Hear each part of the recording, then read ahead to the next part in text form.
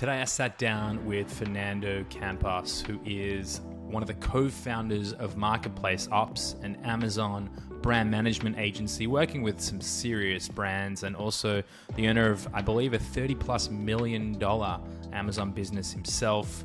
Uh, the guy is beyond impressive in terms of how he approaches everything in life and in business. Uh, he's a seriously seasoned entrepreneur and living an incredibly digitally nomadic life. And uh, we talk about a lot of different topics from fitness and CrossFit to the mental game to the businesses that he's building and how he approaches it. Um, it was a really illuminating episode for me and an opportunity to really dig into someone that I've really just been impressed from the onset. And so, again, like every episode, this is for you. I hope you get as much out of it as I do. Welcome to Successful Scales, the show where I talk to world class professionals on what it takes to scale successful businesses. I dive deep asking questions to people who are running unicorn businesses, to raising funds, to buying businesses, mergers and acquisitions, IP and patent law, what is to manage performance management. I mean, the list goes on. The idea really is how do I create knowledge and learning for you guys listening in, and of course, myself getting the floor with people who I, in many cases, would never dream to share a room with. Before we jump into the episode, I've got to give a special thank you to our sponsors. Firstly, over at Global Wide Advisors, a leading digital consumer products investment bank focused on optimizing the sales process an incredible team, always happy to pick up the phone and educate you or anyone about the sales process and what you should really consider, and can obviously help take you to market or even acquire businesses. I ring them for just about everything these days. Us over at MultiplyMii, we are the end to end executive search and HR function into the Philippines, helping find better talent and onboarding them effectively. And last but not least, Escala our management consultancy focused on process improvement, where we help build better systems for your business. That's all the ads you're going to get from me, ladies and gentlemen. The rest is all about learning. I hope you really enjoy and get as much out of these sessions as I do sitting face to face with some of the world renowned leaders in their respective fields, asking them the tough questions that they're not often asked.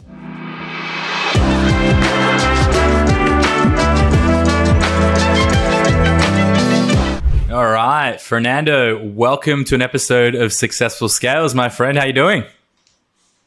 I'm good. Thanks so much for having me, Yoni. I'm excited.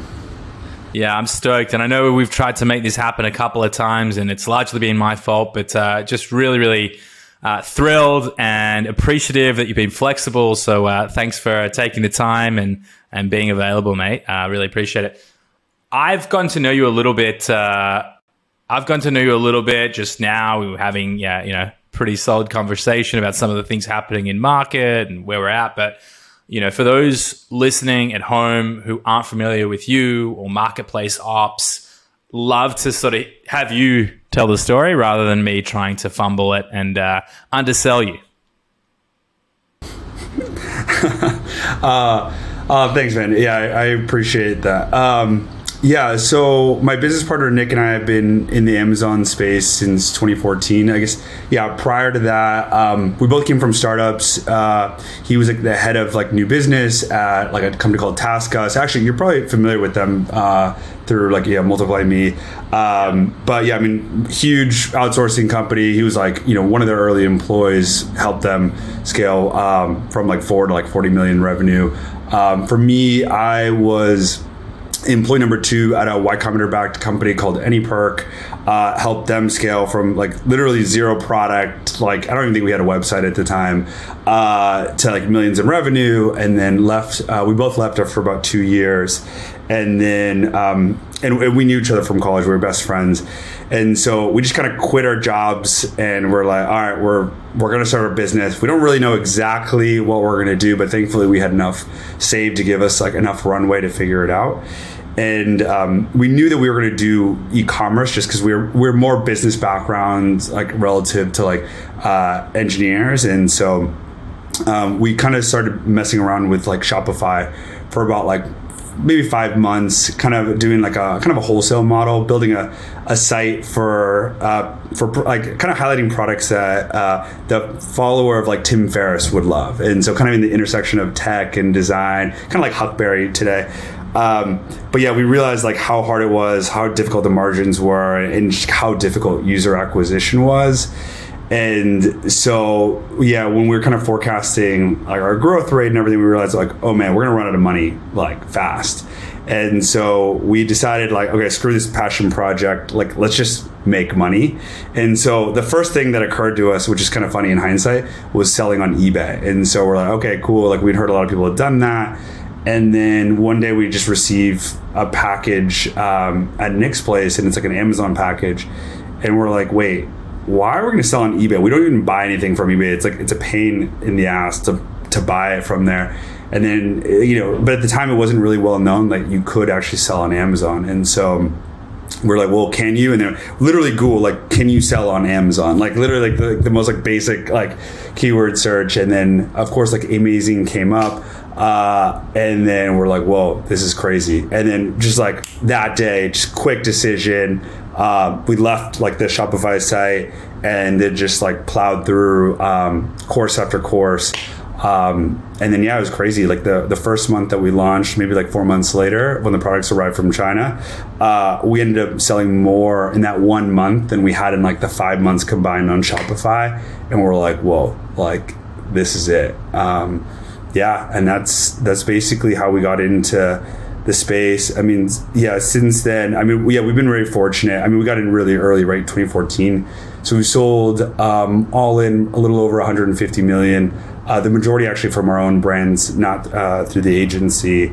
Uh, but yeah, we you know started and sold um, yeah quite a few uh, Amazon brands, more Amazon native brands, uh, and then we've also started an agency called Marketplace Ops. Uh, where we help a lot of brands, usually like kind of in the high six figures, uh, seven figures, and then we help them scale uh, to eight figures. And then we also, as a fun side project, we started um, Pixelfy and sold that last year as well. Wow, very impressive. I didn't realize Pixelfy was yours as well. Um, that was that was to Carbon6. Uh, no, so that's Pixel Me. Uh, so we sold to RebateKey. yeah. So yeah, we were, we were definitely inspired by them. Uh, yeah. No, it's all good. Um, it's, it's Ian Ian Sells right. It's RebateKey.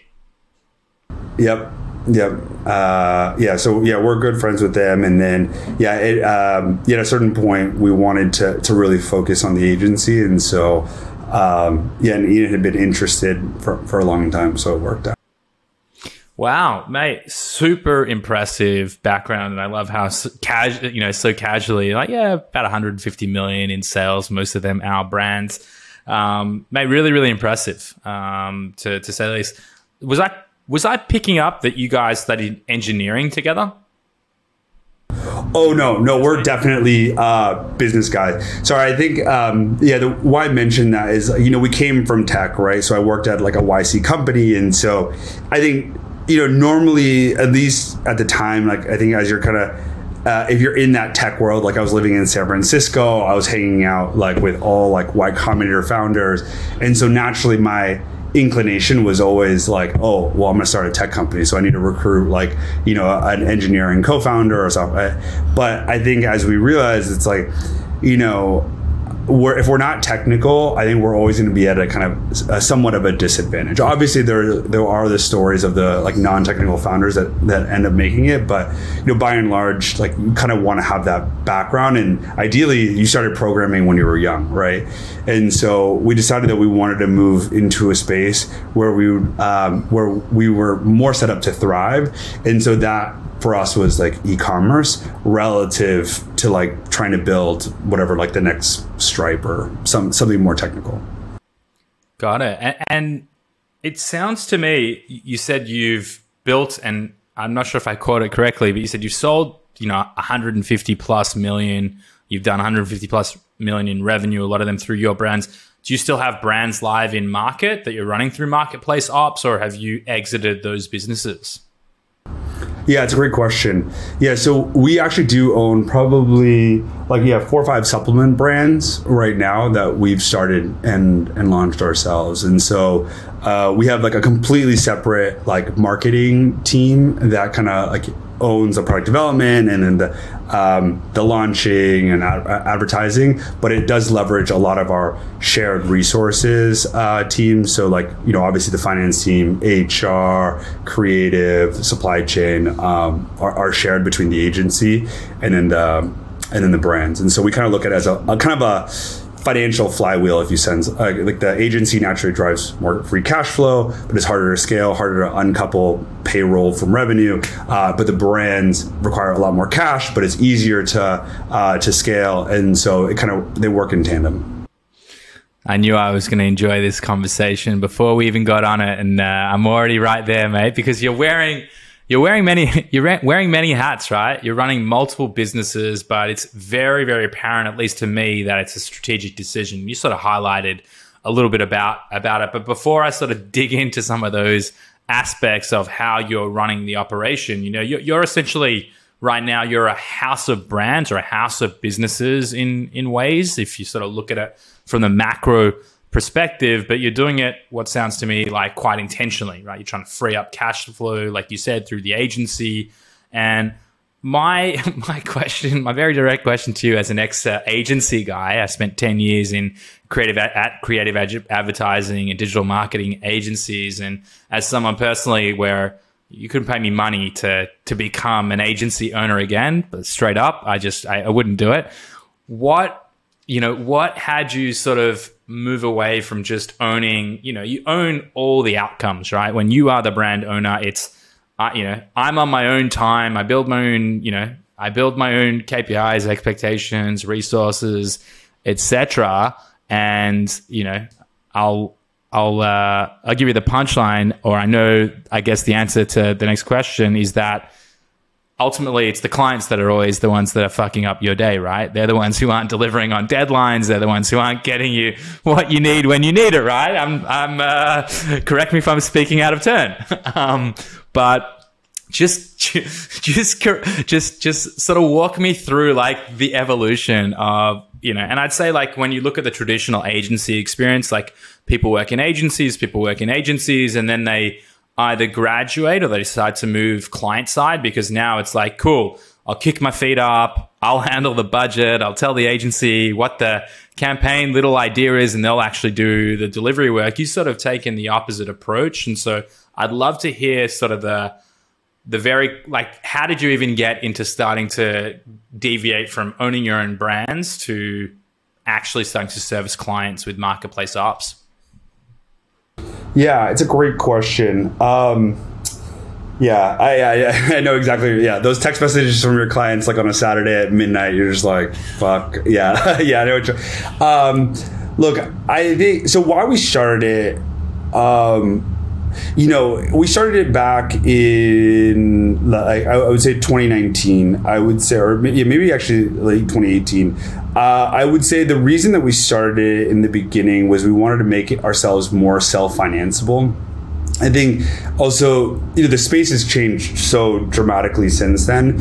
But I think, you know, understanding, uh, you know, cash conversion cycles is, is a huge part of like why we made the decision. Because at the time, it was just so hard to get lenders to finance and i'm talking about like large amounts right? Like more than a million dollars in like a line of credit or um, even in like a, term loan for like an e-commerce based business especially if you're an amazon native right? Because you have no receivables you have no real collateral like they, they won't lend against inventory sometimes in, in, in fba and so you know, we're doing like 30 million a year, but like we're basically having to go out and raise like really high interest rate uh, promissory notes and so the idea was like, okay, we have this like stellar team. Like we know how to run Amazon businesses. We're like pretty well known in this space because of like Pixelfy and everything.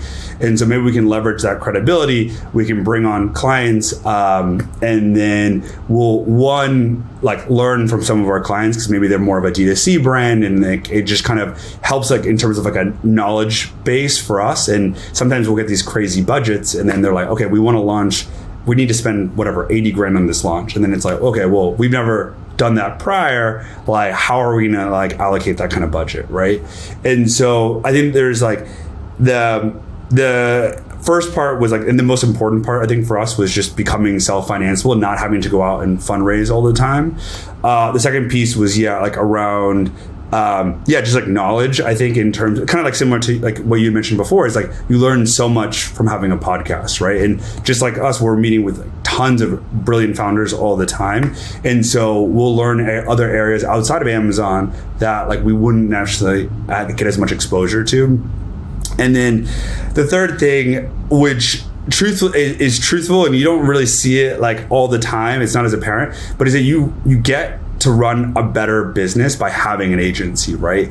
Because I think internally you can be a little soft on each other and you're like more kind. But clients, if you're if you're paying someone like a good amount of money, you have high expectations of that like customer experience and and results. And so I think uh, those are like a lot of the the bigger benefits for us, uh, I would say. But and then I think, yeah, to your point around like the client, like so much of it is around client selection, and like you know, I think we learned that from a lot of friends. I think Nick is really good about selecting the right clients that have the right temperament, that have realistic expectations, and truthfully, we only take on ones where like we know that we can help them scale. We're not going to do a specific category just uh, that nobody cares about on Amazon and is just going to churn in, in three or six months. And so, um, so yeah, hopefully that that kind of answers a little bit. No, that's a that, listen. That's a very strategic move, and you know you're sort of hitting it on it was intentional as to why you went in there. You didn't want to, and especially back then, and it's still really challenging. You know, let's let's call a spade a spade here. No one's just handing out free cash for Amazon businesses, and if they are, they're taking a pretty high interest, you know, repayment. The ARR on that is, you know, it's not what you're going to get if you're a brick and mortar store. It's not what you're going to get against, you know, virtually anything else. It's just we're still not at that point in the time in history where e-commerce businesses are actually seen as the true viability the business that they are, and the market will catch up, but it's probably still going to take you know some you know some pretty good years would be my guess. So. Um, very, very, very, very clearly articulated how and why you got into it, and it makes a whole lot of sense. And I think for anyone listening in here who's either running an agency or has a brand, you know, there is a reason. There's there's a reason to make it from a financial engineering perspective. You know, you are finding a way to be intelligent about your you know self-sufficiency as to running sort of your primary business in the brand itself and, and getting it to another level. But to your other point you're not going to have the same level of pressure as you will when you're trying to service clients. And so you're pushed honestly to the to the absolute limit of service delivery and exploration and how and why. And when people are paying you money to to have you know, uh, an expected result if you don't deliver. And you strike me as someone who is not uh, one to, to, to take a, a negative uh, delivery or experience uh, all that well. Um, you know, you're going to learn, you're going to learn a lot. Um, and so I think it's, you know, it's just that absolute um, mutual beneficial experience where you're pushed beyond scope, you're getting exposure to other brands. But I think to your point and to your partner in Nick making very good decisions on client selection, uh, you know, it's absolutely critical. You know, we I know for us inside of MultiplyMii as a business, you know, when we started working um, or when we started the business sort of three, three and a half years ago, you know, it's like I'll take anything I can get. I'll work with a founder who's looking for four hours of work because like we have no, literally no revenue coming in and I would get on calls at three in the morning if time zones didn't make sense because you know you were you know you sort of was hustling, which you know I do not advocate for at all for anyone at any stage in their career, and it's something that I really stand against. But I lived it and went through that, and I guess my point is today, like we're building teams inside of MultiplyMii. We want to work with companies that are more well established that have a very clear understanding of what it is to onboard and train and educate and empower their team members to actually make good decisions. And so I think it's like a, a very natural evolution, but it sounds to me like you guys might have made that decision right off the get go. Did you did you have a moment in time like when you guys started where you sort of had to learn um, through your experiences that you know there is a particular client profile or how we want to work, or was it always very intentional? You know, uh, it's a good question. Uh, I mean, I think we definitely got more intentional, but I think we started pretty intentional. Thankfully, we had like a lot of good friends that had run agencies, and they were, yeah, very generous. Honestly, with like, dude, don't like, uh, don't be dumb. Don't like, you know, don't choose like the really cheap clients. Like the best clients are the ones, truthfully, that are not like really balking at like the service fees or anything because they understand like the importance of like look if you can get me to x to y in this period of time is way better than me you know paying a little bit more versus like choosing some like bad agency that i'm, going to waste six months of time or or potentially like drop in sales drop in, in the bottom line. And so um, yeah, I mean, I think we definitely fine tuned it a little bit in terms of like certain categories are just hard. Like beverage for us is is really challenging unless you're just like willing to light money on fire all the time because you're going against like the biggest brands with the largest budgets. Uh, and then you have crazy FBA fees, and so naturally, it's, it's a it's a tough category. I think that's one that we've like kind of um, yeah that we've learned. Uh, but I think besides that, like yeah, truthfully, we've pretty consistent in terms of our client selection, thankfully from the beginning. No, no thanks to me, to be honest. Uh, it's all Nick, uh, so I'll give him a shout out on that one. But yeah, so I can totally relate to the hustling in the in the early days. Yeah, and and I think it like you know in ways there's like a an aspect where it's like a rite of passage, and you sort of you know, you, you, think, I would say, at least I did early days, like the more hours I put in, the better the result is, and like hard work pays off. And, and it does, hard work does pay off. But it's in, in my mind today, it's all about consistency. It's about showing up every day, not working 12, 16 hour days and trying to literally burn the candle at both ends. Like, you know, you only have so much uh, energy that you can expend. And, you know, for me personally, like life has definitely changed over the last three years. I've got a son now. I didn't have a dog when I started the businesses. Like, you know, lots of things, lots of things have definitely um, changed. But I guess where I'm driving with all of this is you, you guys both seem to be attracted to early stage uh, businesses, right? You, you both started, you were at a Y Combinator business, you helped grow it from early stage. Um, so too did your co-founder, obviously, in, in, in TaskUs and where you guys took it. And then you've gone, you built, you know, a couple of, you know, less successful businesses until you found sort of your niche in the supplement space, it sounds like. Is there a particular aspect of the, the business life cycle that excites you? Like, are you one to sort of get to a certain level and you're like, you know what, like my work here is done. Like we're at 50 million in revenue and like I'm, I'm done or, you know, um, uh, I'm going to get it confused again because they just have such similar names in Pixel Me and Pixelfy. You guys are Pixelfy? Got it. um, but, you know, like I'd love to just understand around all the businesses and, you know, you, you're a, you guys are serial entrepreneurs at this point. Like, why, you know, why look to get out of, uh, you know, the tech space in that capacity when you've got a great product? And, and honestly, I've heard from a lot of sellers that use it how valuable it is, and specifically yours. Um, so just curious, like what drives some of the decisions that, that you guys make?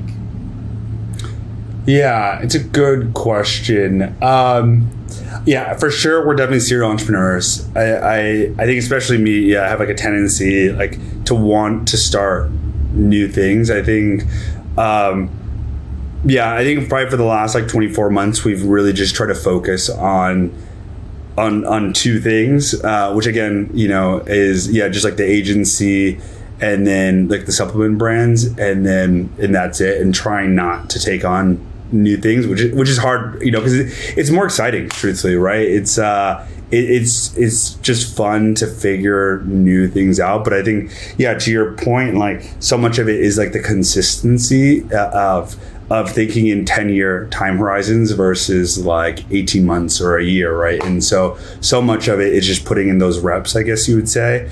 Um, I, I would say that in the in the beginning, I think it was in the earlier years. It was a little bit more like arrogance of just like, oh, I can, I can, I can juggle, I can multitask, I can do all these things.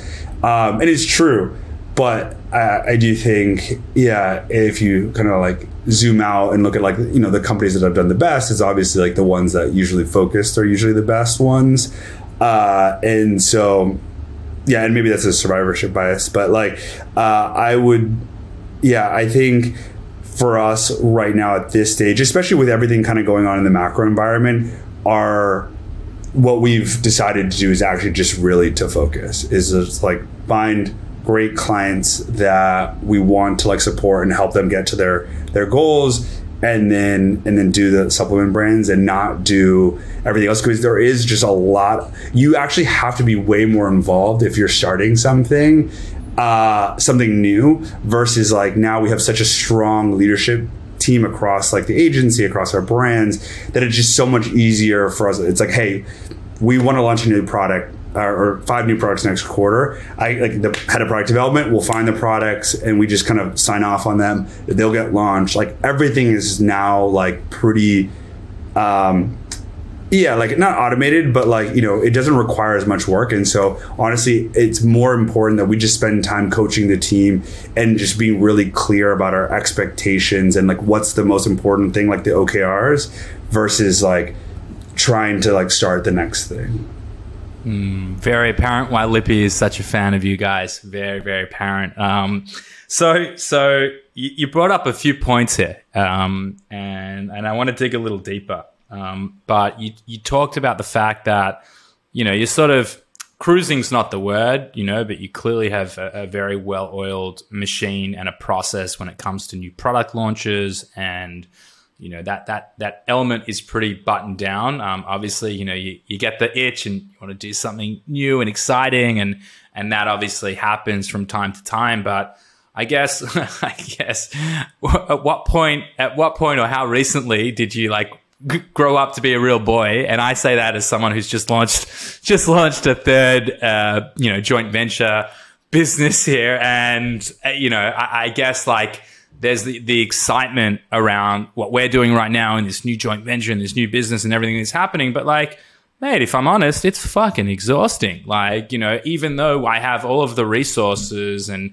you know, I've got a massive team behind me and we're absolutely leveraging the hell out of them and, you know, and that's all great. It's still like, it's still a new, totally new venture. It requires like, you know, a, a certain very focused, consistent push and how I sort of look at entrepreneurship is it's like in in seasons or in like sort of like peaks and troughs and I've got like a very clearly defined sort of 3 to 6 month window right now that started about a month and a half ago where it's a push like I'm not I'm not having like the freedom that I'd like. And so it sounds to me like you've gone through this process where you're cutting some of the fat and some of the distractions and you're getting focused. And you even mentioned just before you talk in 10 year uh, 10 year terminology now and that's about sort of your your goal setting and, and, and where you're driving toward.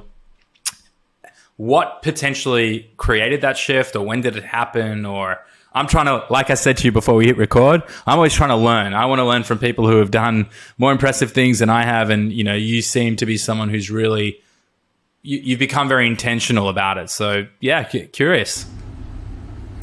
Yeah, it's a, it's a great question. Um, I mean, I would say, yeah, I, I think, yeah, I mean, COVID was an interesting time. I think for us, yeah, I mean, we definitely decided to to focus on a lot of the big. We we had done too much, and I think it was a good reset point for us in terms of just like really thinking about the business, like, and then yeah, what we were trying to achieve.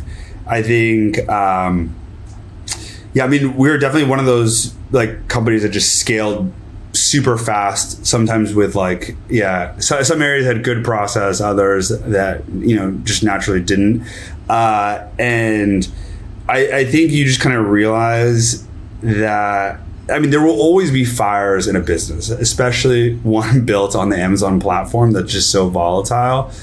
But I think, you know, kind of similar to what you were saying with like, you know, not having a child. Um, neither of us have child, but it's just like, you know, as we got older, we wanted like less fires to put out ourselves. and I think um, by having less businesses and just focusing on the ones that would really help each other like in terms of the flywheel but and then also that we were just like the strongest in then we would be able to like yeah just have a better quality of life uh, and so that was kind of like the decision it's like yeah we can we can take on all these cool things uh, and and it's gonna be really fun. But like just at this stage like and then wanting to go after like a big exit we have like um, a focus on like a big exit probably in like 2026 maybe. Then uh for, yeah, for some of the supplement brands then yeah i think it just it makes sense to really focus versus like kind of continuing to divide all the the team's time right? Like it's kind of like that snowball analogy right? And you know when you're yeah again when you're younger you don't like really think about it as much but it's like there is a real switching cost to like having your marketing team work on so many different things right? And so just by having that like more narrow focus you're just gonna get like uh yeah just more momentum i, I guess. And uh it'll, it'll challenge all the other teams and yeah overall i think we'll just be yeah trying to be more disciplined i guess is the way that we're looking at it Yeah, I mean, it definitely makes a tremendous amount of sense to me and something that creates, you know, focus for the team, quality of life. And, you know, I think once you sort of uh, overcome that hustle life and culture that a lot of us have lived through, you understand that there is no longevity in that. And in order to, to sort of go the distance to be able to think in 10 year horizons, you need to plan for them. So, mate, I mean, I'm looking at you here. You look like a pretty fit guy. What's your what is your what does your routine look like? Um, like, have you have you really invested in in designing your life and you're sort of intentional about the hours that you spend? Like, you know, and I, I know from me, from from my perspective, like I wake up every morning. I'm out of the house by six a.m. I'm I'm walking with the dog. Um, you know, I'm in the gym three four days a week, and you, you know, I, I I invest in in my my sanity. I meditate every day. I do my gratitude journaling. Like, curious to hear how you approach, you know, the other aspects outside of just you know building multiple businesses and helping sort of guide the team to success. For sure. Yeah, it's a great question. Um, yeah, I mean, I, I've done a lot of the yeah the journal meditation. Yeah, truthfully, I, for me, and I know this is like almost taboo to say, but I just for me it didn't really make a huge difference. So I kind of uh, personally stopped those. But uh, yeah, I kind of want to get back and, and try again and see if if it makes a difference. But I think yeah, fitness is huge for me. Um, so yeah, I recently, or I used to do like kind of more like triathlon, like Ironman competitions. Now I'm more into CrossFit. Um, so I've been doing that for a year. So yeah, pretty like dedicated to that, about like five days a week. Um, yeah, I try. Um, time. Huh? What's your Fran time?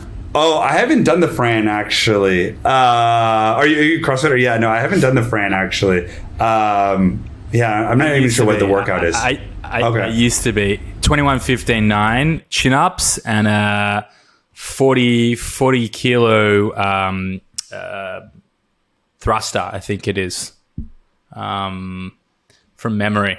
I haven't. I, I was a, I was a CrossFit coach maybe close to 15 years ago. Um, I stopped CrossFitting about 10 years ago. Yeah, but I used to compete heavily when in my mid 20s. Oh, nice. Wow. Okay. Yeah. Well, when I do the workout, I'll I'll, I'll text you and let you know. Uh, yeah, I'm not sure yet. Um, yeah. So, but I think I, I spend a lot of time walking outside. Yeah, with my fiance or just like walking uh, and listening to podcasts. Um, so yeah, I'll probably walk. Uh, recently, yeah, especially now that we're in Marseille, which is a beautiful city, uh, probably like 13,000 steps a day. So just trying to really spend a lot of time outside. And I think that, honestly, the biggest hack that I, I think some people do, not everybody, is just like meal plan services. So like before we get to any city, uh, my executive assistant will like basically do all the research of like let's say I'm in Marseille, so it's like yeah the, the CrossFit gym near my Airbnb, like the meal service, like everything that we need, like cool Airbnb experiences that we want to do. Um, and so we'll just have that like ready to go so that the meals show up. And so it's just way easier. We'll still go out to dinner, um, but it just makes it, obviously it's like way easier on time. Obviously, not having to go find food, but then also it just makes you like make the healthier choice. Um, and so that's like those are some of like the um, the bigger things that we do. I mean, that's a pretty that's a pretty solid life hack right there. Is the the meal prep and finding it in the different locations. I'd be terrified to see what it cost me here in Tel Aviv, um, but I was definitely red hot on it back um, back when I was CrossFitting. And yeah, I mean, you know, that really is like very very well structured life design in like you know you're living what sounds like a very global life and being able to actually you know, very, very clearly plan out and having an executive assistant, mate. It's a, it's a game changer, isn't it? When, when uh, oh. leveraged correctly. It's the, it's the greatest. Uh, yeah, honestly, yeah, I, I, couldn't imagine going back. Like, yeah, they, they, they're basically the glue, right? Like they make everything. Like I wouldn't show up to meetings otherwise. Uh, so yeah, no, it's awesome. Mate, I'm, I'm, I'm the same. I always laugh. I'm like, now like women run every single aspect of my life from my fiance to my dog and now Kate, who, who, I've been working with for about a year. It's like, you know, they really just, they run shit. Um, and I'm just literally a passenger here. Like, what do I, you know, tell me what I have to do. Um, but, um, but yeah, unreal, mate. Well, listen, it would be an absolute shame to, um, to let this podcast end and not give Marketplace Ops a little bit of a plug and, and tell anyone who's listening um, a little bit more about sort of the solutions you offer and who, you know, who's actually going to be best to work with you. And like I was saying, I'm super excited to have the opportunity to work together as we really launch into South Col now. So, uh, yeah, I'm asking again for myself as much as I am for the audience.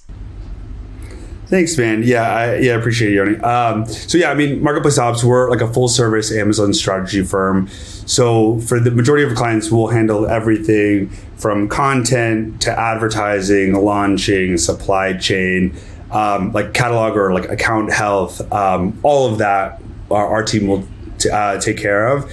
So basically, the, the main things that we won't do is like kind of product development uh, and then um, and photography, but pretty much everything else will um, will kind of act as kind of like the chief Amazon officer, if you will, for the brand, and then basically help the client hit the OKRs uh, that they're looking for and then um, over the next few months, actually, we're we're kind of just starting to introduce kind of more standalone services. So we'll do like PPC only, like supply supply chain only. Um, but yeah, up until now, it's been all full service. But naturally, since we already have like the teams built out, um, we wanted to create like other offerings for for some of the other sellers and uh, that maybe only one specific uh, one of those specifically. And so those will probably be launched in the next like forty five days or so. Wow, very cool. And is there a specific niche or category? Like, are you guys trying to stick closely towards supplement, or you sort of handle, uh, you know, broad stroke? Anyone, anyone's welcome. Is there a, a minimum, uh, you know, a minimum threshold? Again, I'm very curious to know for for my personal endeavors mm-hmm. here. Yeah, it's a great question. Uh, on the fir- the full service side, usually the brand is doing at least like 50k a month in revenue, at least on one channel, or they're venture backed. Um, in terms of categories for full service, um, yeah, it really varies. But we work with a lot of like uh, consumables, could be like supplements, grocery, uh, electronics, like health and personal care, beauty. Um, yeah, I mean, honestly, like pretty like across again. We don't do clothing, like that's a specific category that we won't um, that we won't do. But we've we've touched like a lot of uh, categories on the full service side. Um, yeah, on the advertising and the supply chain uh, only, like yeah, we're we're we're more open specifically on those services, and so. But yeah, I would say that the criteria is probably around the same. Usually, like around probably like 30 or 50k a month in revenue like minimum just to be able to to kind of justify like the the fees and then yeah of course we really want um, yeah, we, we want brands that have some traction so that we can kind of add fuel to the fire. Kind of similar to I'm sure what you guys are doing uh, with South Col, but yeah, um, yeah. Unfortunately, we don't want to build businesses anymore. Uh, or yeah, we're we're trying to like help scale businesses so that they can you know ideally hit their goals and exit at some point. Mate, that is uh, great to know, and uh, we'll be talking about it more. But uh, Fernando, mate, thank you so much for taking the time. Uh, it was awesome to get to connect and, and also just learn about what you've been able to achieve. It's really nothing short of remarkable. So just appreciate you jumping on here today. Yeah, man. Anytime. Thanks so much for having me. I really appreciate you. It was fun.